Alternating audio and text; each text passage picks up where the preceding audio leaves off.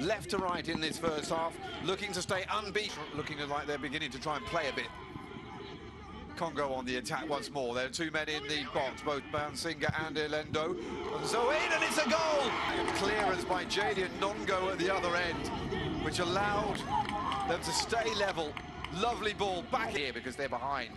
Down the line, Ren Nazraoui. Nice ball inside, and there is the equaliser. Right on cue. Lovely goal scored by Jibril Othman. Still a good first half. And that's the end of it. The final quarter-final of the 2023 Africa Cup of Nations was already 2-1 when Sami Chikane came on and scored to make it 2-2.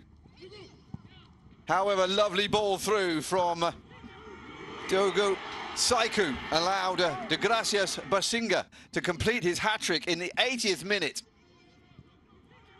And all of a sudden, Congo were in front again, 3-2, as they tried to reach the semi-finals. However, there were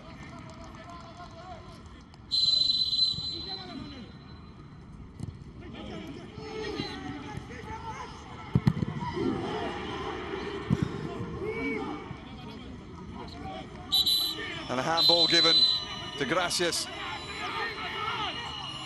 Basinga stepping forward to complete his hat-trick in the 80th minute.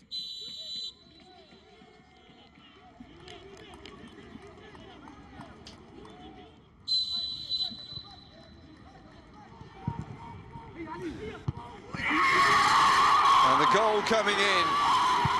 Extra time.